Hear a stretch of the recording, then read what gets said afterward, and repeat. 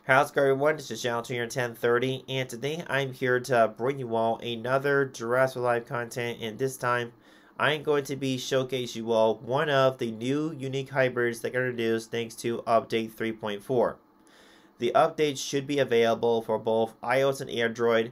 Before I go any further, I do want to a couple things. For starters, if you haven't already, be sure to drop a like, subscribe, bell so that we be alert times as to when I upload content on this channel. Second, Ludia provided the beta version to build brain content to you all.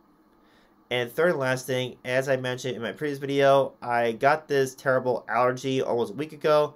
I know most of thinking, eh, do I have COVID? The answer is no. There's a difference between a sickness and an allergy. And what I'm going through is allergy season. Hopefully I get it better very soon. Even though this would be time of when I get more rest, but I figure I sacrifice that time to be able to bring more content to you all and to showcase the new creatures. So with all that being said, let's go ahead and get right into it. Now, unfortunately, this would be time of when I cover the new creature, but if I do talk about this new creature, that's when I'll be confident and I rather you guys enjoy this new creature than having to hear me cough a lot.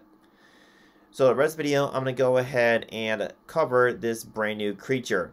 That's all the cover for today's video. Now, let me know in the comments below your thoughts. I've covered here. Do you like this new unique hybrid? Do you see potential in PvP? Let me your thoughts. I'd hear it.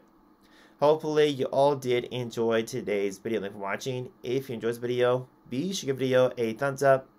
Turn my channel, subscribe bell for more content videos. And as usual, see you all next video. Until next time.